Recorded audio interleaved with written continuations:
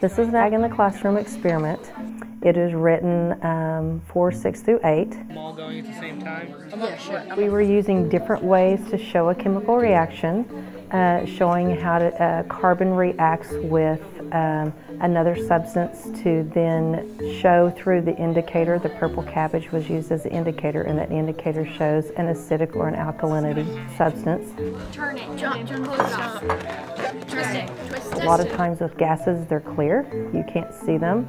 And so the indicator is there to let them know that something is taking place. And we've just recently learned that um, one of the evidences of a chemical reaction is a change in color. So that's what they were looking for mostly today.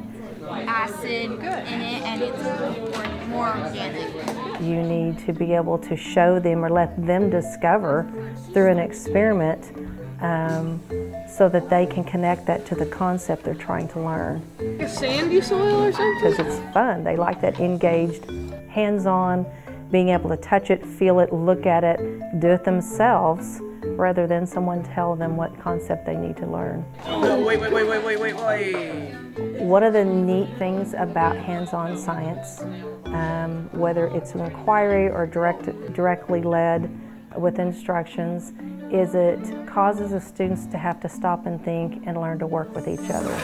Um, we all have to do that in life.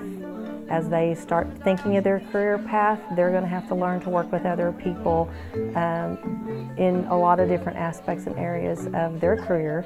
So it's start them now where they know how to actually get along and work together and do a group activity to get some learning involved, and that's very valuable for my students.